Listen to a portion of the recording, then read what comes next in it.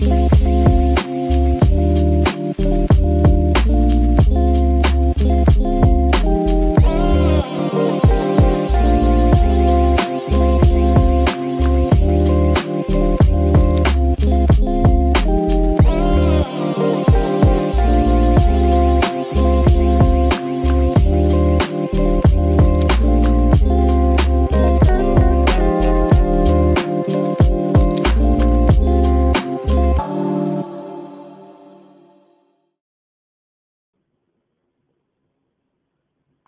Afternoon, everyone, and welcome to the second day of the Knight Smart Cities Lab. I'm Kelly Jin, and I serve as Vice President for Communities and National Initiatives at the Knight Foundation. For those of you who joined us yesterday, welcome back, and I hope you enjoyed our discussions on the current state and future state of civic engagement, broadband and digital inclusion, as well as equitable recovery in public spaces. Uh, and for those of you who are just joining us today, uh, welcome. You're on the second and last day of our very exciting uh, conference and discussions.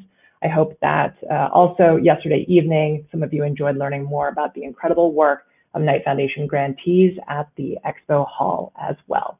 Today's conversations will focus on local and national work in mobility. Specifically, you'll hear from speakers that are working at the forefront of autonomous vehicles as well as ride shares.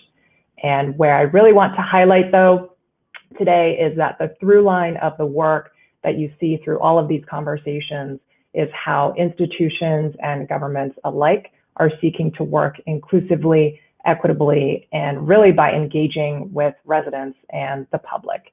And should be no surprise to all of you listening in these are also the core principles and values that we have here at the Knight Foundation and are expressed through our work and through our investments. We focus our investments in Knight cities in total 26 US cities where the Knight brothers themselves owned and operated newspapers. Together, they represent to me the fabric and diversity of America. From the streets of Lexington, Kentucky to Detroit, Michigan, to Miami, Florida, where I am here today and where our headquarters of the foundation are located. And yet, despite differences in the size, shape, makeup, economies, demographics of all of these communities, what Knight's communities have in common is that they have one foot firmly planted in their history and the present, and yet are also defining the future of cities and looking ahead. This means that City Hall should always be there, but residents and businesses shouldn't have to go to City Hall in person or during business hours for key government services. There should be a digital City Hall that's always there for them 24 7, like in the city of St. Paul, where the city has worked in partnership with the Beeck Center to leverage open data to deal with pandemic related housing challenges. This also means that communities by default invest in more accessible public spaces because they deeply value public spaces as assets to increase resident attachment, like our work in partnership with the city of San Jose through their Guadalupe River Park initiative. And this also means that local financial institutions and governments are increasing capital and access to capital to help entrepreneurs build businesses and to close the wealth gap in communities. Like in Macon, Georgia, where Newtown Macon is advancing through uh, local funding and revolving loan programs to support downtown small businesses. These are just a few of the examples across Knight communities. Um, you'll definitely hear more later today on how we envision the future of communities and the future of smart cities uh, nationally and globally as well. Uh, so for today's conversation, um, I am very excited to welcome up to the stage Andrew Hawkins, who is going to host our very first panel conversation uh, today on mobility and equity. Andrew, welcome. It is fantastic to have you. Thanks for moderating the session. Thank you so much for inviting me. It's an honor to be here. Um, this is a, a, great panel that we have uh, uh, uh, about to about to start. So I hope that everyone's really excited for what I hope is a very vibrant and uh, relevant discussion. Uh, my name is Andrew Hawkins. I am a senior transportation reporter at The Verge, um, where I've been reporting on transportation issues, especially autonomous vehicles, for the last six years. Um, and uh, I'm really excited to, to get this discussion going. So I'm going to start by introducing uh, our panel. Uh, first, I'm just going to sort of say their names and I'm going to allow them to introduce themselves because they are sort of better equipped at describing what they do than I would be. Um, so first off, we're going to talk to um, Jenny Larios Berlin. She is the co-founder and CEO, COO of Optimus Ride. Jenny, thank you so much for being here with us. Of course, it's a pleasure to be here. So, uh, as Andrew said, I'm uh, Jenny Larios Berlin, uh, co founder and COO of Optimus Ride. Um, at Optimus Ride, we try to partner with communities uh, to uh, provide them with uh, shared electric and autonomous mobility services, both for intra and inter community access and connections. prior to that, I was at MIT.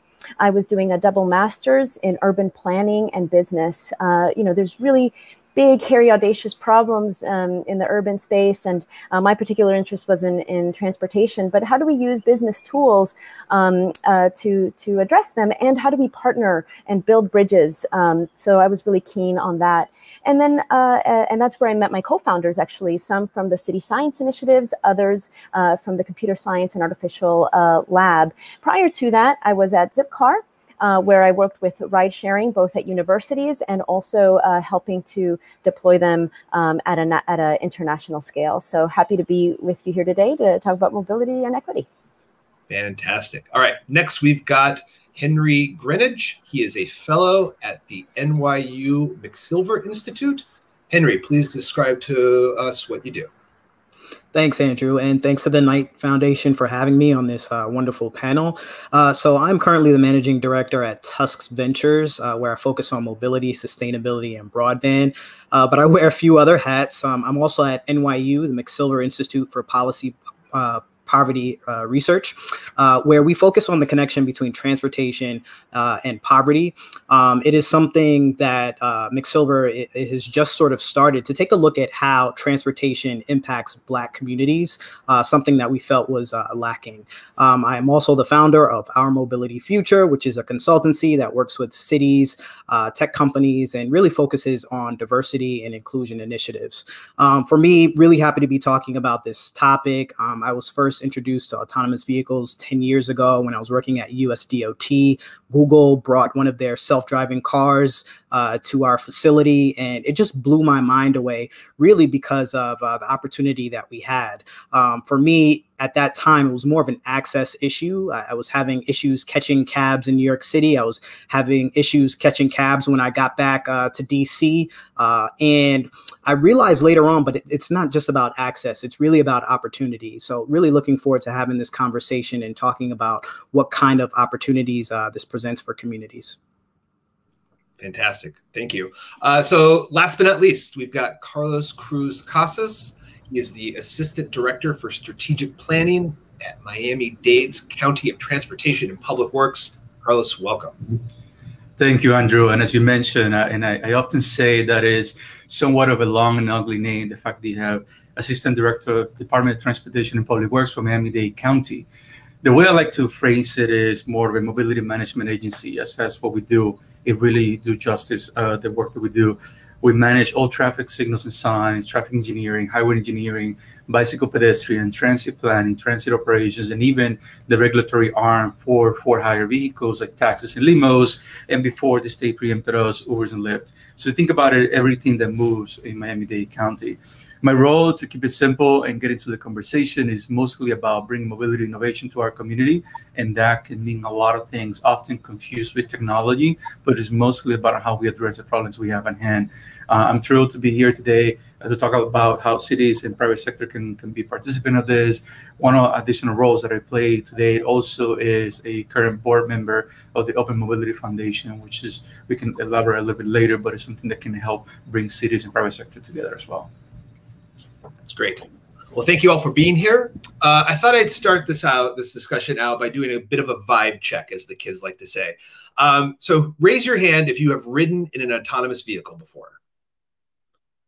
All right. So this is not a representative sample, I would say, of the vast majority of the people in this country.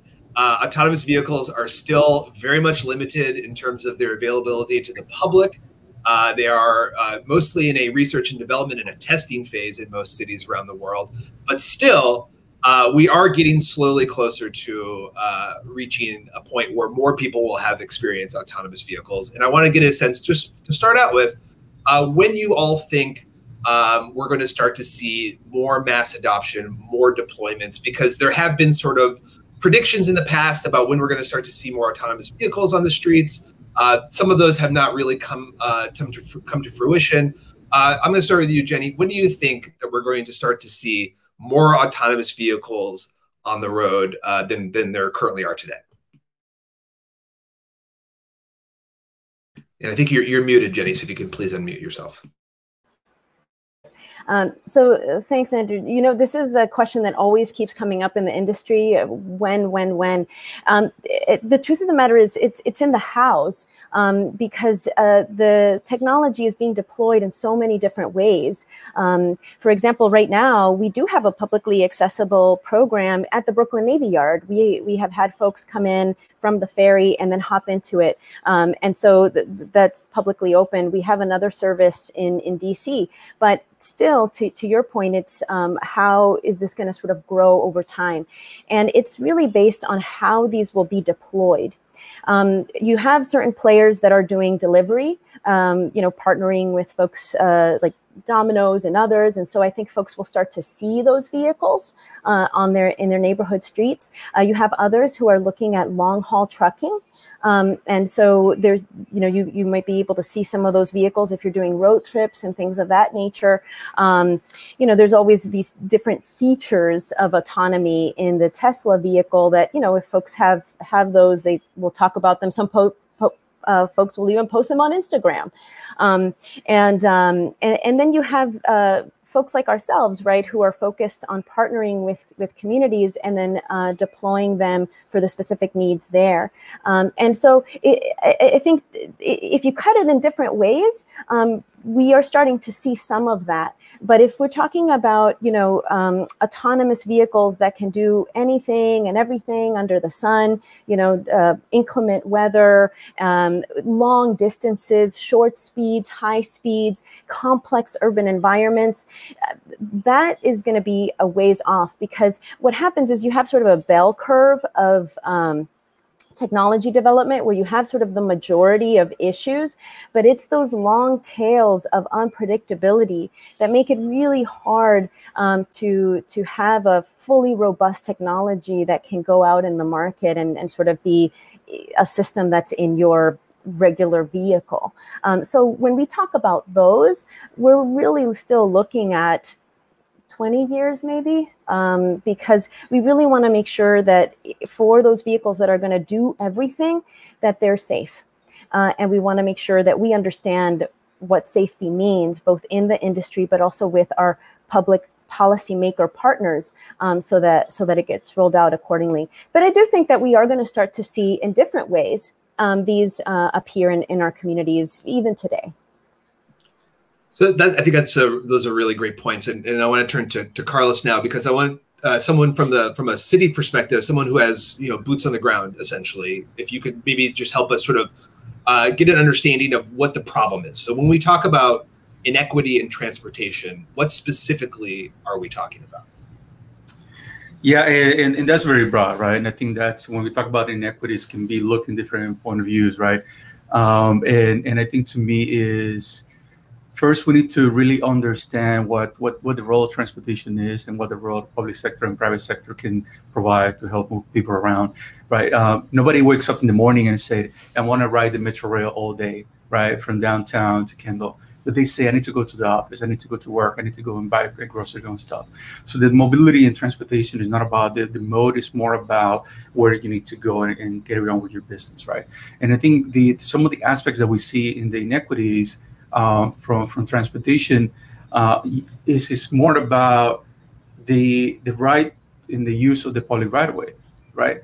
And and to me is everyone everything that we look at uh, problems in terms of mobility and innovation, we need to start talking about the how we're going to impact it. For example, I hear often that the cars are being improved and the vehicle personal use being improved over the years with um, have gotten faster, have gotten bigger, have gotten more protective for the people inside the vehicle, which you might say bringing the cost down of those particular vehicles will help inequity, but at the same time, you're creating inequities for people outside the vehicles, right?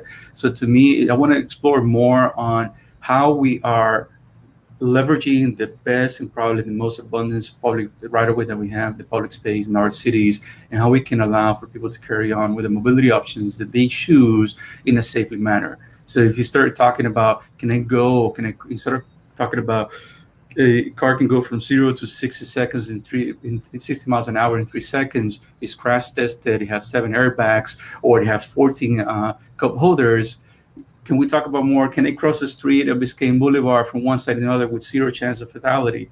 Can I can I ride my bicycle on a bike lane without without being door or without being clipped by the truck on the corner? So to me, eh, the inequities that we need to start exploring is not necessarily only on the provision of transportation, but the space and the space that we allocate for it. And I think that's a role for public agencies. We do see ourselves as custodians of the public right of way to be able to manage the demand of public right of way in time, space, and mode. And right now, I see a big disparate impact between people riding on a car versus people walking and biking. And I want to explore that more on AVs because a lot of AVs is more about people using it, and rightfully so, with limited mobility and other aspects that we want to explore on AV.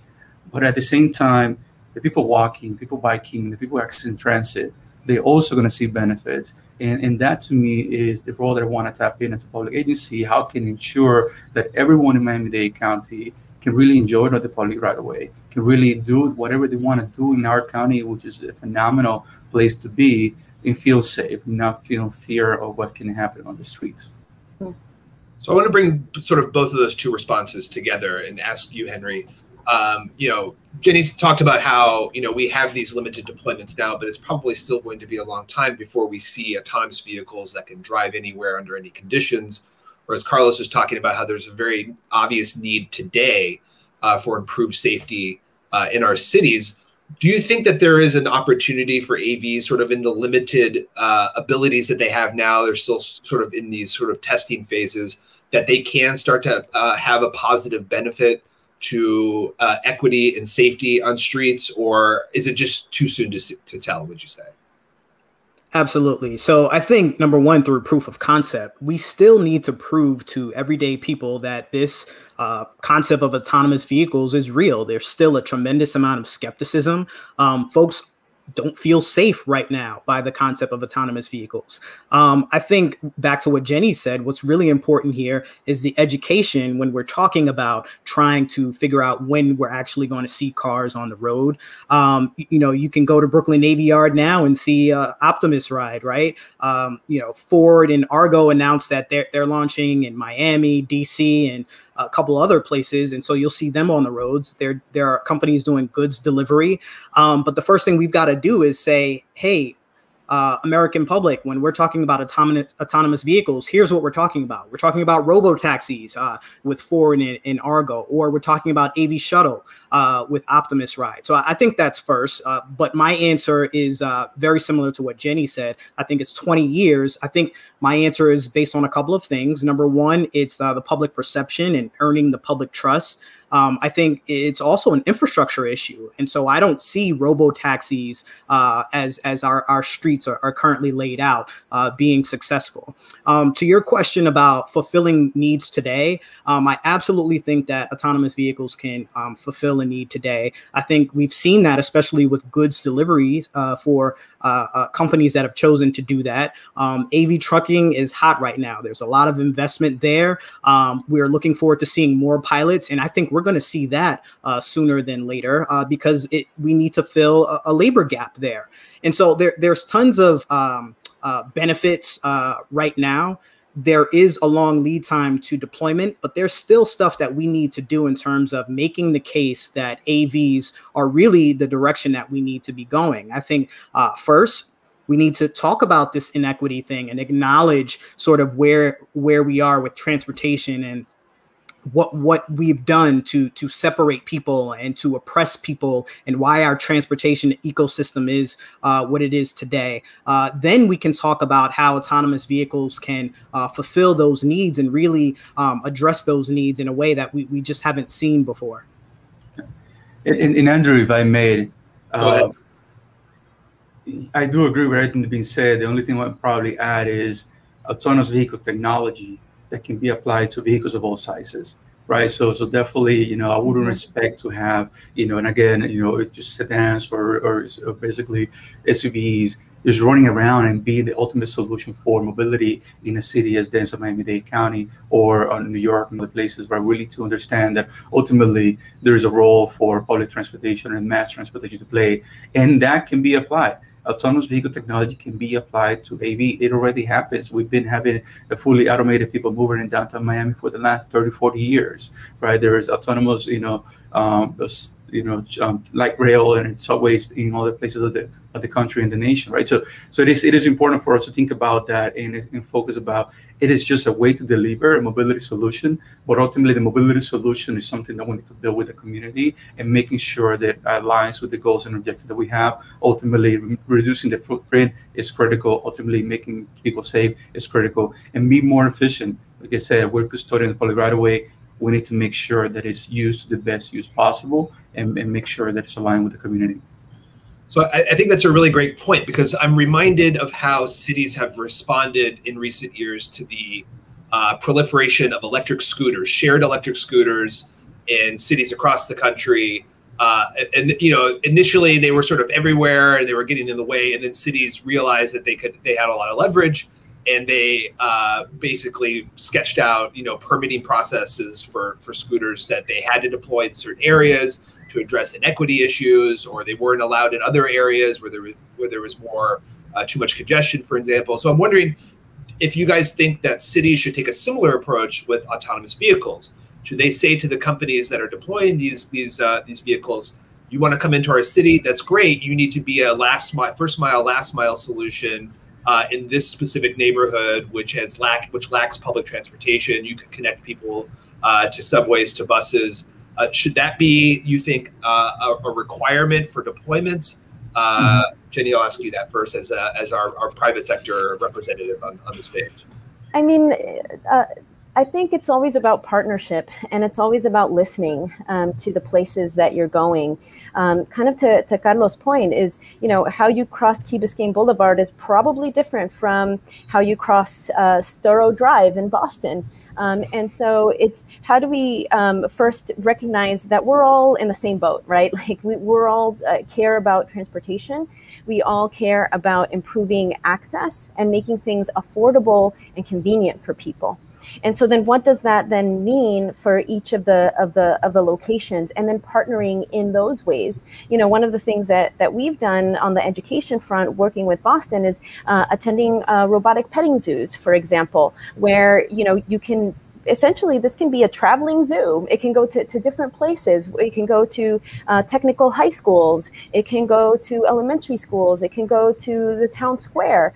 Um, and and then you use that to, to educate and then say tell us what your needs are. Because for some cities it's you know what? I really want to know about my, my curb access and i want to know about my potholes and i want to know where stop signs are missing okay great so then we can partner in with the information that we're collecting to share that for others, it's you know access, and so is is it access to light rail? Is it access to mass transit? Is it access to to the bus systems? Um, and it is the case, right, that generally uh, low income communities get keep getting pushed out and out, and so then it's about having a bus network that supports them, and then how do we plug into that bus network? How do we sort of understand okay well this is the peak and a low peak but how do we provide for all times? Because that's the other things that happen in our in our communities which is you know i mean i grew i'm, I'm first generation latina so i grew up in in some low income communities myself and you know you'd have buses that you'd have to wait 30 minutes for. Not by design it's just that that's sort of what the system can support. But how do you use systems like ourselves where you have the cost effectiveness of public transit but the convenience of a ride share? And so then you can connect folks to those transportation hubs or the supermarket. I remember carrying a lot of grocery bags uh, home. Um, and, and those are just short trips but they are the convenient trips because frankly most of our lives is three to maybe five miles radius from our homes. And so then how do we think about what those needs are and, and then respond to those? And, and I think that's the most important thing when, with, when you think about permitting and regulation is how do you give enough flexibility to, to the, the, the, the local policymakers so that they have the freedom to say, this is what my community needs and this is how I want to work with you? Uh, Henry, I'll, I'll, I'll, shoot that question to you and also just sort of yeah. add that, um, you know, uh, there will be some tension that exists between uh, the, the city governments and the AV companies. I think uh, as, as, this technology becomes more uh, uh, advanced and, and, available in the future. What do you think is sort of going to, how do you think that that's going to play out? What leverage do cities have in terms of what they're going to be asking from the AV companies and what are the AV companies likely, how are they likely to respond, do you think, to some of those requests? Yeah, I think today, um, Oh, I'm not on mute. Great. Um, I think today cities have a lot more leverage than they did in the past. They've certainly learned uh, their lessons from other technologies deploying in cities. Uh, Airbnb, Uber. Um, I think cities have gotten smarter. Um, I agree with Jenny. You do need partnership, and I do think you need to have um, uh, mutual understanding, if you will. I think cities, as, you have amazingly talented people who work in cities, especially on transportation, but at the same time, many of them have not worked in the private sector, and many of them have not worked at AV technology companies, and so there needs to be education there. They and and the AV companies need to be proactive in doing sort of the, the these petting zoos and these these road shows to ensure that the city uh, stakeholders have the proper education here. But I am in big favor of a framework. I think you need a framework uh, that the AV companies need to abide by. And the reason for that simply is I'm concerned about equity issues. And I'm, I'm concerned that equity will be put to the wayside in favor of business decisions. And we've seen that um, happen time and time again. Um, and I would also say that, you know, there's some great people who work at AV companies, uh, but we all know that there are pressures out there, financial or otherwise, with uh, competition uh, that often cause uh, good decisions to be left behind in favor of a good business uh, decision. And equity is too important uh, right now to forego that. Um, I've often been told that you know uh, AV is the sort of biggest uh, engineering uh, challenge of our lifetime. Um, I also think that inclusion is the biggest uh, social uh, challenge of our lifetime, and we need to address that, and we need to address that now. For many communities, this is a matter of life or death, and I think that uh, with AV technology, especially um, AV technology that is clean, I'm talking about electric vehicles, um, you can really change the quality of life life in some of these communities. And but what that really means is it, makes a difference in people's lives. And so from that perspective, I do think you need the government to sort of step up and play their role as uh, the steward uh, of the public interest and really develop a framework uh, that works to um, to to meet the needs of autonomous vehicles and the public in which they, they serve. Um, and I do think uh, there are ways to streamline that. There are ways uh, to accelerate uh, progress so that you don't get hampered by the uh, permitting process. Mm-hmm. Um, and I think all of those things uh, need to be discussed with uh, a, a, a um, wide array of stakeholders from both the private, public, and nonprofit sectors. So I'll just quickly note that if uh, if folks who are watching this panel want to learn more about the Knight Foundation's AV Public Engagement Initiative, there will be a workshop scheduled later today. So please check that out if you want to learn more. Um, so uh, Carlos, let me. I think Henry brought up a really great point that there is you know a, a lot of opportunity here, but also a, a lot of risk, um, especially if you know uh, these private companies that are operating the AV company, uh, AV uh, the AVs uh, you know, tend to uh, prioritize profit over things like inclusion uh, and equity. And I'm wondering what you think will be sort of the best response that cities should have to ensure that these tech companies uh, that that doesn't happen. That they sort of operate within sort of defined parameters. That they still have flexibility to recoup their expenses and make money off of these services because they are private companies. They're sinking a lot of money into these into this mm-hmm. technology, but at the same time, there are some very obvious needs to be addressed. Yes, um, Andrew. So many thoughts are going on right now into my head. I think this is a phenomenal conversation. There's a lot to unpack here. You know, the, the first thing that, that I can probably tap into is, you know, communities don't need a parade of, of shiny objects, new technologies, right? You know, we need partners to help us uh, basically uh, achieve our goals and mitigate the impacts that we have today. right? So to, to me, the first thing we to do is, like Jenny mentioned, is instead of ha having a solution looking for a problem to solve, let's be working together and, and highlight and voice those needs and problems that we have today, right? And not necessarily me as a, as a public, uh, a member of the, the public agency, right, as a public servant, but from the community, right? Even in cities, in Miami-Dade County is huge, being in the some states, right? Even within Miami-Dade County, even within the 34 municipalities of Miami-Dade County, everyone experiences mobility differently, experiences the city differently right? I use transit and I, have been in this vehicle, but my neighbor probably just experienced the, the, mobility in a different way. So first, we need to really understand that. We really need to provide them with a voice to be participant in this conversation, um, and then be prepared, right? I, I, don't have a time for when AV is going to continue to roll out as mass. Yes, we're going to have. We already have Ford here for 40 years. We have a great partnership with them. You know, now they're going to be rolling out robo taxis later on this year. Um, in mass, I don't, I don't, I don't know but the one thing I want to make sure is that we are prepared as a community, that the people are educated in general, and that we're able to voice our concerns and, and, and liking of the new technology coming in to the private sector so they can adapt their mobility solutions to, to, to where we are, right, and the goals that we want to do, right? Uh, at the same time, I think we need to really understand uh, how this is different. I don't want to alienate AVs from everything else, right? If we, if we don't have yet a, a, a basically a requirement for TNCs or microtransit or micromobility to address equity. Why are we doing that in AV? And I think we need to take a step back and say mobility as a whole needs mm. to abide by the goals and objectives of our community. And we need to work together towards that. AV is just another way to deliver it. And we're going to get, again, a potential better partnership through it because we get a lot of more information, perhaps, in terms of, of some of the, the sensor uh, abilities of it. You know, there's things the cities are doing to address this, right? Uh, the first thing, for example, in a, in a great partnership that we have with Ford and Jenny, you mentioned, you know, the Domino's Pizza and, and those uh, pilots. You know, think about this. If the pizza delivery guy is no longer going three flights of stairs to go to your door and give you the pizza, you need to go down to the street and pick it up. The interaction and the space on the on the public right of way changes. The mm-hmm. needs of the curb space changes. The sidewalk furniture potentially need to change. All these things we need to think about. Nothing to do with technology, nothing to do with the AV itself. But if you're going to change anything on our community, it needs to be done that way. And the last thing I want to mention in terms of what cities can do, and, and I urge everyone to follow uh, the Open Mobility Foundation, which is an organization that's led by cities. And what it's doing is the stewardship of a, a component called mobility data specification.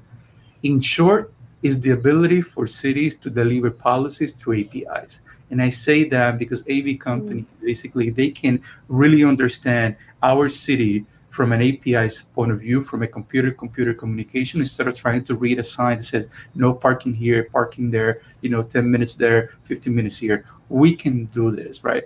Our role, and again, I have no purview over the technology. I have no purview whether the wheels are round or square. I don't have nothing like that. But the one thing I know it is I do have purview over what is the use of the public right of way and how the curb is utilized, how long they can stay there, you know, the speed that they can traverse, and whether or not they can go in one direction or the other, right? Those local traffic rules are under the purview of cities, and I think we need to be a little bit more vocal about that and the role, the role that cities can do. And yes, there's inequities that we need to do in terms of provide better mobility solutions throughout uh, a community like Miami-Dade County, regardless of the color of our skin or the accent of our voices. But that needs to apply to all mobility options. And to me, is yes, I think you know we're looking to provide a clear indication of what we're doing as a public agency, better transportation system, better inclusion, and show where we are running short. Where are the areas that might be a transit desert? But can should never be a mobility desert where Optimus can actually come in. And if you want to come and help a community, you want to be participant of the of, of the Miami Dade on the Rise. This is the areas that you can come in. So I think there's a lot there to unpack, and I'm really thrilled about you know this baby steps. You know, and yes, it's going to take years, but it's baby steps for us to better understand the interaction between moving people, regardless of the mode that they are, and the people that are walking and biking and the needs that they have. And if we're able to just working together and thinking of AV, what applied today to our partnership with VIA, to our partnership with Uber and Lyft, to our partnership with anyone else there, you talk about microtransit, micro mobility. all those needs to be understood about the same level and be uh, following the same rules, if you will. Mm-hmm. Mm-hmm. I wanted to just ask you guys really quick about um, the problem of traffic congestion. Uh, it's uh, a major issue for uh, uh, pretty much every city in the in the country today, um, and it is potentially getting worse as a result of the pandemic, uh, with people uh, shifting away from public transportation into privately owned vehicles. It, it, seems like there's the potential for a, a, looming congestion disaster. Um, AVs are an interesting component to this because um, while they uh, have a lot of uh, promise, uh, they are still uh, just another car on the road in, in many use cases. Uh, and the geometry uh, is essentially still the same. You have the, you, it's not going to solve the geometry problem that exists with when it comes to congestion. So I wanted to ask you, Jenny, um, what you think in terms of uh, the future and equity. Uh, th- if there should be certain policies put in place in cities, such as congestion pricing, uh, and how you think that that would affect uh, the uh, the operation of AVs in certain cities if such policies were enacted. Yeah, well, I guess I'll just start with um, from my transportation planning days. Uh, congestion is a good thing in the sense that you know it kind of sends a signal that maybe you shouldn't be driving your car, um, and and it also slows things down. Which again, from sort of as an urbanist, uh, we believe in Vision Zero. Uh, we we believe that cities should be going slow because you want to Carlos's point, make room for bikers, you want to make room for walkers, you want to make room for families, you want to make room for children. You know, I have a nine year old and I, I, think about, you know, just the work that it takes me to teach him to be afraid of cars. Why do we have to do that? Because we've enabled an infrastructure that does that in, instead of um, as a human scale and say, no, we're going to take ownership back of our city and we're going to make it such that we can bike, we can walk, we can scoot, um, and, and then have lower speed vehicles that are shared. Not everybody needs a driver's license. And so, to your point on the congestion, I, I, I defer to my policy friends on whether we should do congestion pricing or not. But when I see congestion, I'm like, okay, I think that this is going to force people to think, oh, there was a reason why I had been using public transit before COVID. Maybe I can try that again. And if we have solutions that make it easier to do sort of multimodal, because sometimes you tend to chain your trips, right? If you're walking or you take your bus or or or, or you're walking and you take a scooter or what have you, um, how do we, to, to Carlos's point earlier, uh, solve for that access? Because it's not about the what they're doing to get there; it's about the destination for folks. And so, how do we sort of think about AVs? From the angle of solving that issue? How do we share? How do we um, electrify our fleets? How do we distribute these vehicles so that they can provide better support for our mass transit systems? Because the truth of the matter is that there's still no better system built to date that can move high volumes of people other than mass transit. And so for cities, it, really is, you know, um, how do we leverage congestion to get people back out of their cars again and, and remind them of the the, the beautiful options that they have that can also be much healthier. I love the the the idea that people stuck in traffic are uh, enlightened enough to realize that they are themselves contributing to that traffic. But I wonder if that's actually the reality. Um, uh, there was, I, I, remember there was some Onion article many, many years ago that that addressed that. You know, everyone's mad at everyone else in traffic except for themselves. Um, but I want to. We have about 15 minutes left. So I want to uh, get to some of the questions that we've been getting from from our audience, um, and I thought first we could talk about um, about the use, the, sort of the the, the term equity uh, and and what that means, and the idea that self driving cars and autonomous vehicles um, uh, could potentially uh, be eliminating jobs. There are lots of people who work in the ride sharing industry today, in mass transit, driving buses, driving shuttles, driving taxis the idea that autonomous vehicles could potentially uh, pose a, a, threat to that labor that exists today, the people that work in those fields, um, and you know what sort of obligation the AV companies or cities might have um, to ensure that people sort of aren't left in the lurch if they lose their jobs as a result of autonomous vehicles. Uh, and I thought maybe Henry, you could you could talk about that first. Sure. Um, so you mentioned the term equity, and, and Carlos said it. This is such a broad term. Uh, and you also mentioned labor, um, which is related, but we can go a completely separate direction. So, number one, when I'm talking about equity, I'm talking about um, impacts to Black people and other people of color. Um, there are all sorts of inequity out there. Uh, you know, it's 51 years since we passed the ADA, right? Um, there, there, there, there are all sorts of ways that you can look at um, pay inequity, particularly at AV companies uh, when it comes to gender and things like that. Um, but really, when I'm talking about uh, inequity, that's how I'm using the word. Uh, I'm talking about Black people and other people of color. Um, and that is on purpose because at NYU McSilver, we have said that we haven't seen enough of those issues being focused on in these communities. And we see a lot of mobility technology being deployed and more on the way. And so there needs to be focus on those issues. Um, with respect to labor, this is this is a huge one for me. I, I think the AV companies bear responsibility uh, to talk about this. This is a real thing. It's not going to go away. It is something that's going to be exacerbated by their technology. Um, people are going to be in, in, in, impacted by it, and I think uh, they owe it to everyone to sort of be proactive in these conversations. Uh, you know, it, it's probably not a welcoming idea to talk to labor unions and things like that about these issues, but I think you need to address them head on. And I think that we're so early in the technology that if we have meaningful conversations, there are some things that we can get to agreement on. And you also have to acknowledge that you're not going to uh, agree on everything and you're not going to get buy in from everyone. But I think ignoring the issue only makes it worse and it reduces, um, you know, the, the number of benefits that you can actually fulfill. Um, so labor is, is a huge one. I, I think that um, people are interested in this topic. Uh, I think people of color who, who understand what's happening are, are, interested in it. On the other hand, I do think that anytime you have um, the introduction of new technology, you, you, you do phase out some part of the workforce. Um, if you, I, I, wrote an article maybe a, a, year or two ago about uh, elevator operators. I used to think that was the coolest job in the world as a kid, and I, am dating myself. But we used to go to Macy's, and there was a pleasant man who operated the elevator. I remember learning to drive and and, and being nervous about uh, uh, slowing down for the uh, the toll booth clerk. Um, how often do you see that? Uh, I've got E-ZPass now. Um, and so you do see the disappearance of jobs uh, because of technology. But what happens is it's over time, it's not overnight.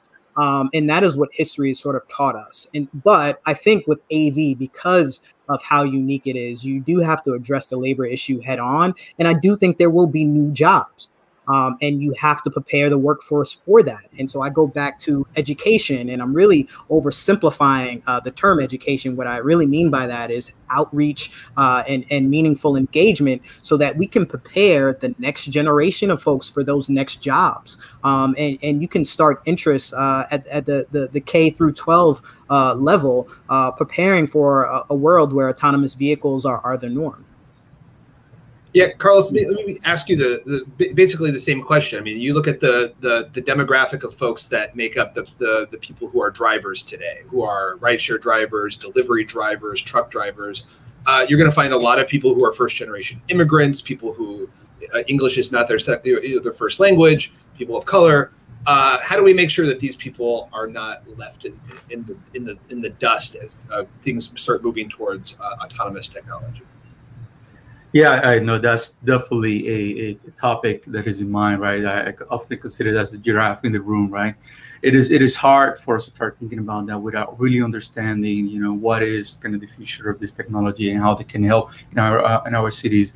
Uh, I like to think about it not necessarily as a, as a problem, but more as an opportunity right? What are those things that we have in our community that we're not able to fulfill today because we don't have enough staff, right? We, we don't have enough people to do, right? We would love to to really kind of create programs for ambassadors. We love to create program where you know we are a, a front-facing element uh, making people feel welcome into our into our um, transportation systems, right? You know, we do have the need to keep that in mind to think about, you know, even in a well-established system, there's always the need for human interaction. There's always the need to have people engaged. So to me, there's there's a lot for us to learn. You know, there's a lot also of new potentially high-paying job that can be brought into right. You know, there's a lot of you know, I don't know if you guys have seen the the ins and outs of the AV. There's a lot of computing power in it. There's a lot of moving little parts again, you know, that need to be served, right? And that needs to start looking into. And I'm hoping that we can continue to create programs where we can actually maintain these vehicles. And these vehicles and this technology, it is something that is expensive.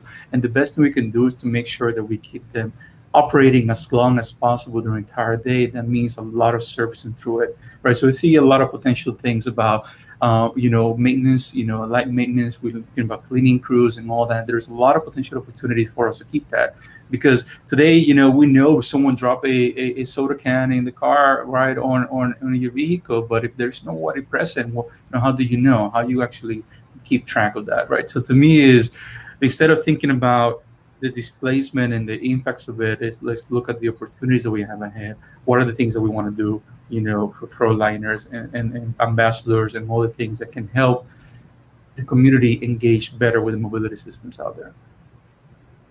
Uh, Jenny, I want to also ask, you, this is a question that I would really love everyone on the panel to answer. So how do you, what do you, what's your response to the question of uh, labor displacement uh, in ensuring that this technology doesn't lead to sort of the vanishing of an entire uh, class of workers.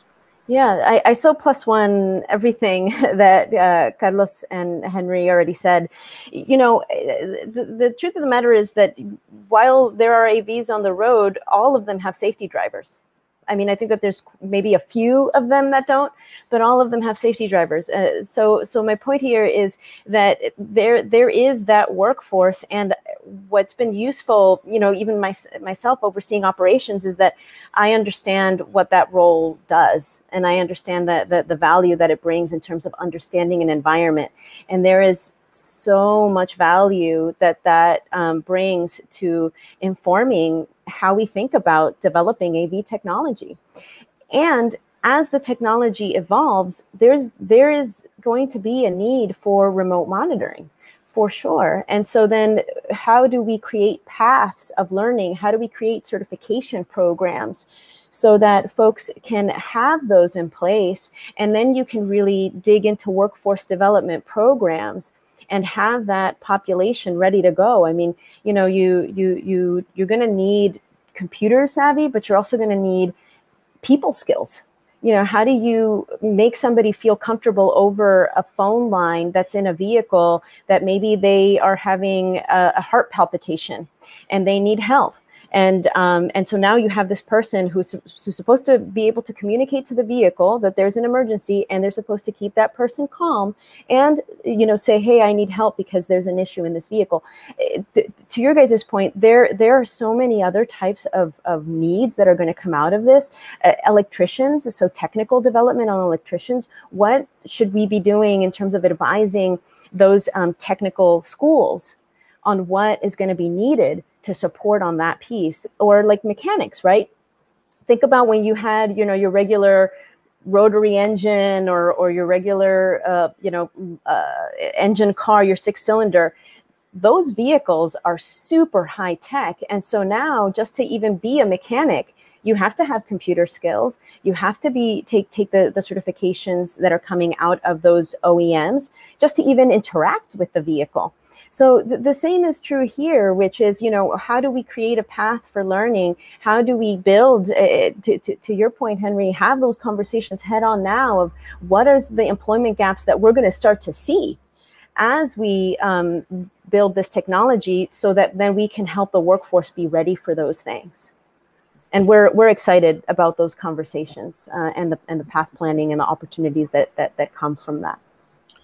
So we've just got a couple more minutes left, and I want to get to a couple more of these questions. So we got one here that says that um, for the commercially uh, operated AVs in a city, so for your robo taxis, your delivery vehicles, um, what role does asking for data sharing from those entities to cities play in evaluating sort of equity outcomes, identifying issues with vehicles on the streets?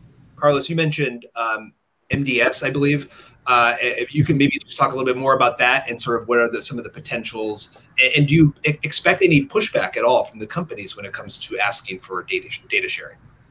Yeah, certainly. I would love to hear from from from Jenny and the private sector on this. But you know, uh, for for commercially uh, vehicles, whether AV or not, right? I think there is a, a, a need and a requirement to understand the impacts of their business in the public right of way. Ultimately, there's something happening on the public right of way and how we're able to impact. So um, to me is is twofold, right? When we talk about the mobility data specification is first a way for cities to enable a, a clear communication of policies and telling the rules of engagement to the to the private providers on how we our city is built and how we want to them to interact with us. But at the same time there is some type of information that we need to start getting back in terms of how they're actually uh, getting from one place to the another in terms of the impacts uh, the, the, amount of time that are spending on, on the curb. You know there is a lot of over hype term of curb management and i think we need to really get into why we need to talk about curb management and how we need to get private sector and public sector talking together about the impacts and the, and the needs to to manage that. There's also other possible uh, uh, ideas for data sharing that I need to explore. You know, to me is if if we have an Optimus ride, which is to me a sensors on wheels, you know, is there an opportunity for us to work together to identify information that we can gather from the street that you can help public agencies to do their work their work better, right? In terms of keeping our streets safe and keeping our street uh, running efficiently and smoothly.